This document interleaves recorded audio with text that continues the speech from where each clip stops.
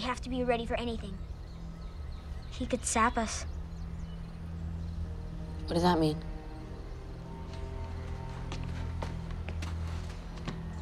Dig a tunnel right under our position. Then wham!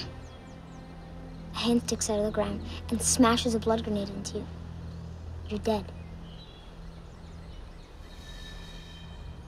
This is the first guy I've fought who, who actually knows this stuff. He's using tactics, he's using strategy. In a way, this is the first real war I've ever fought. Which is why I have to win it. But you always win.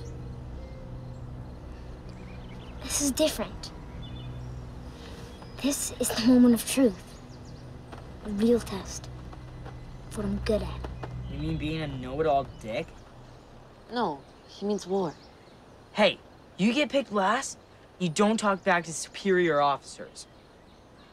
What the fuck are you wearing? It's a bandolier for shotgun shells. For your toy air rifle? Back off, Joker. He's our priest. Our priest? That's right. Every unit needs a priest to write letters home for the men who have both arms broken. Does he jerk them off too? Hey!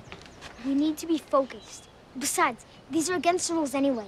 I wasn't using it to call anybody. You can have it back after the war.